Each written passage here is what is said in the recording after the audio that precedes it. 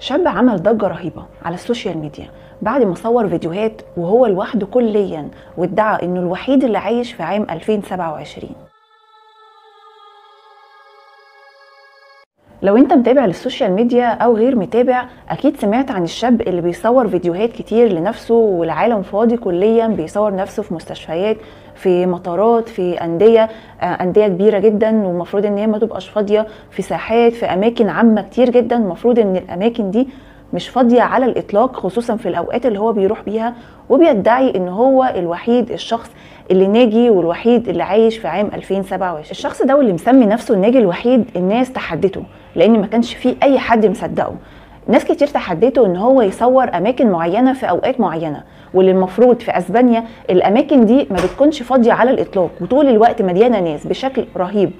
الغريب إنه كان بيصور فعلا الأماكن دي وبيرفع الفيديوهات على صفحته على التيك توك وبيبين لهم ان هو الوحيد اللي موجود. وكمان كان بيصور الساعة اللي موجودة في الميادين دي وبيبين لهم إن الوقت ده هو الوقت المتفق عليه. طبعا ما بين ذهول الناس واستغرابهم الشخص ده طبيعته إيه؟ الشخص ده جاي منين؟ وإيه الحقيقة وراه؟ أو إيه المغزى ورا أو السر ورا اللي هو بيعمله؟ الشخص ده بيدعي أو الناجي الوحيد ده بيدعي إن هو فاق في المستشفى لقى نفسه وحيد تماما من غير ممرضين ولا دكاترة ولا مرضى ولا أي كائن موجود في المستشفى.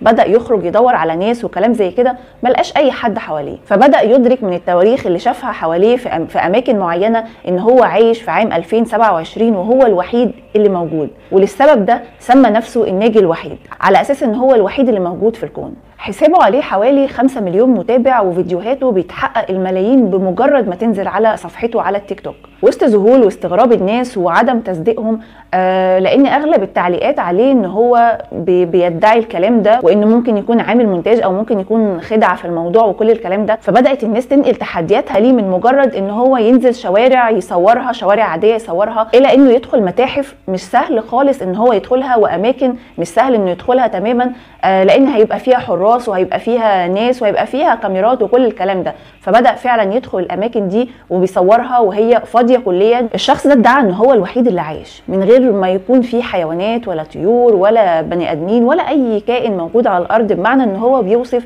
إن هو في نهاية العالم.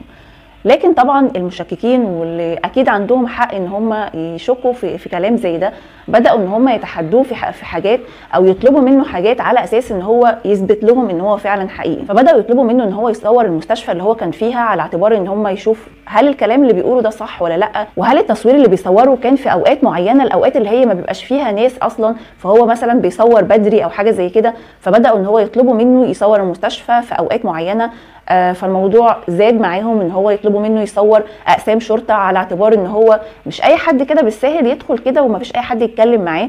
فبدأ فعلا يصور حاجات زي كده أماكن زي كده ويفتح بيبان العربيات ويقفلها ويتعامل كأن مفيش أي حد خالص ومفيش أي حد منعه. وبين أسئلة الناس اللي هو أصلا ممكن يكون مصور الفيديوهات دي في فترة كورونا والحظر وما كانش فيه ناس. لكن حتى في الأوقات دي حتى المستشفيات كان فيها برضو ناس. ما كانش الدنيا فاضية تماما. كده ومع الوقت التحديات بتزيد ومع الوقت تساؤلات وتشككات الناس بتزيد أكتر. ويطلبوا منه مطالب أعلى. زي مثلا حد طلب منه إن هو يدخل المطار ويصوره في وقت معين وفعلا دخل المطار وصوره وكان فاضي كليا. مفيش ولا عامل ولا موظفين ولا مسافرين ولا أي كائن موجود. بدأ يدور هنا ويدور هنا المكان فاضي تماما. طبعا هنا الحيرة بتزيد وعدم تصديق الناس بيزيد أكتر. فبيبتدوا يطلبوا منه مطالب أصعب اللي هي مش سهل ينفذها.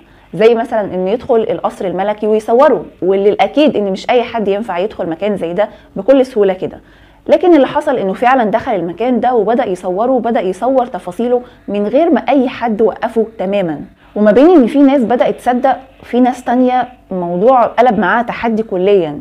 اللي هو بدأوا يصعدوا الموضوع معاه يعني أنت مثلا بتقول إن مفيش حيوانات ومفيش طيور ومفيش أي حاجة موجودة. فالطلب المرة دي كان إنه يدخل حديقة الحيوان اللي موجودة في فالنسيا في أسبانيا ويبدأ يصورها على أساس إن استحالة ما يكونش في حيوانات هناك مثلا. فعلا دخل المكان وكان لوحده تماما. حتى الحيوانات ما كانتش موجودة. هنا طبعا الناس بدأ يزيد معاها الحيرة أكتر وفي اللي بدأ يصدق أو يقتنع شوية بالكلام وزاد الحيرة والاستغراب من الشاب اللي ظهر فجأة ومسمي نفسه الناجي الوحيد وحسابه اللي فجأة اتعرف وبقى 6 مليون ومشاهداته اللي بقت بالملايين ما بين يوم وليلة. فالموضوع خد منحنى تاني وبدأ الموضوع يعني يقلب مع الناس اللي هو هو في إيه. يعني يعني هل فعلا الشخص ده بيتكلم صح وإحنا ممكن نروح عادي في 2027 أو 2000 حتى و100 زي ما إحنا عايزين؟ فالموضوع بقى فيه عدم فهم وحيرة وعدم تصديق بشكل كبير الموضوع فعلا ظاهر بقاله فترة والعالم كله اتكلم عنه تقريبا وكل اليوتيوبرز اتكلموا عنه يعني منتشر كليا على ال social media. يعني هتفتح أي موقع من مواقع ال social media هتلاقي الموضوع ده.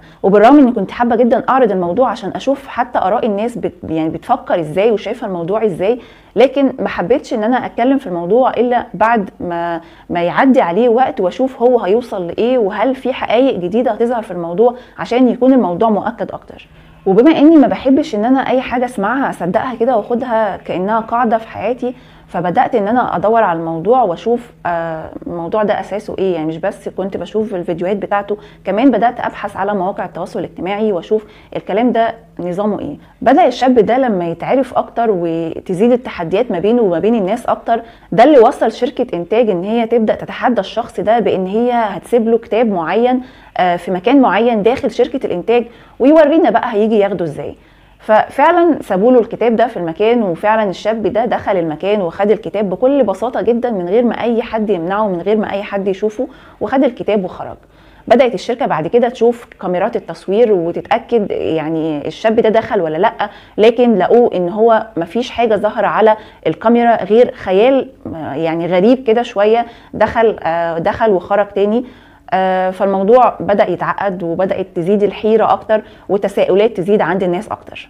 طيب إحنا دلوقتي المطلوب مننا إننا نصدق الكلام ده بما إن هو بيثبت بكل الدلائل إن هو إن هو فعلا عايش في عام 2027 وإنه عايش لوحده كليا؟ أكيد لأ. الأكيد هنا إننا مش هنصدق الكلام ده. جايز يكون في حلقة مفقودة في الموضوع لكن فكرة إننا نصدق كلام زي ده مش طبيعية تماما. الفترة اللي فاتت في شركة إنتاج طلعت وأكدت إن الحساب ده بالشخص اللي هو بيتكلم فيه أو اللي هو بيصور هو بيعتبر جزء من ضمن مسلسل أسباني المفروض إن هو هيتعرض الفترة الجاية. ده مجرد طريقة مختلفة للإعلان عن المسلسل. وعلى حسب اللي نشره موقع Audio Visual إن المنتج التنفيذي للمسلسل بيأكد إن الشركة هي اللي عاملة الحملة الإعلانية دي أو هي اللي أنشأت الحساب على موقع التيك توك والهدف منها إنه يكون زي حملة إعلانية للمسلسل لكن بشكل مختلف وجديد كليا. قبل ما ينزل أو قبل ما يصدر. علقت الشركة من خلال بيان صحفي ليها إن القصة بكل المغامرات والخيال العلمي وكل الأجواء دي والفيديوهات اللي نزلت على صفحة التيك توك آه كل الأجواء دي زودت الإثارة أكتر وزودت آه الشغف لإن المسلسل ده يتشاف. ده كان ضمن التفسيرات اللي اتعرضت على الإنترنت واللي كان بتعتبر رد على الفيديوهات وعلى الجدل المثار بشكل رهيب جدا على مواقع ال social media. حبيت أعرض معاكم القصة الخرافية الرهيبة اللي مش سهل أي حد يصدقها بالرغم من الفيديوهات اللي بتتعرض لأن ربنا ادانا عقل نفكر بيه. رد الشركة يعتبر جزء من كشف الحقيقة وحابه أعرف رأيكم في الموضوع إزاي استقبلتوا الموضوع ده لما شفتوه أو قريتوه أو شفتوا الفيديوهات في أي مكان أو في أي موقع. حابه أعرف رأيكم في الموضوع يا ريت تشاركونا بيه في التعليقات وتعرفونا الفكرة دي وصلت معاكم لحد فين؟ وهل أنتم مصدقين فعلا حاجة زي كده ولا لأ؟ أو إيه وجهة نظركم في الموضوع وازاي حللتوا الموقف ده؟ خلونا نشارك بعض في التعليقات. لو عجبك الفيديو ما تنساش تدعمني بلايك وتشترك في القناة وفعلوا جرس الإشعارات عشان يوصلكم كل الفيديوهات الجديدة. مع السلامة.